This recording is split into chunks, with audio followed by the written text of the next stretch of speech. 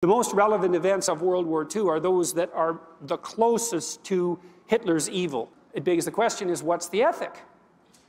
And that's the question that, that confronts us, I would say, most starkly in the modern world. And that's really, in some sense, what the entire cultural war that we're all experiencing right now, that's what it's about. It's what is the ethic?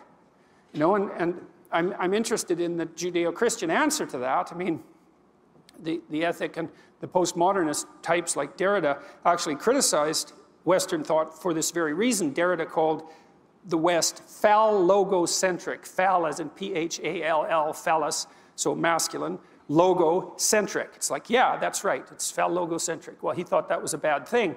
Um, and my response to that is, yeah, compared to what? Exactly.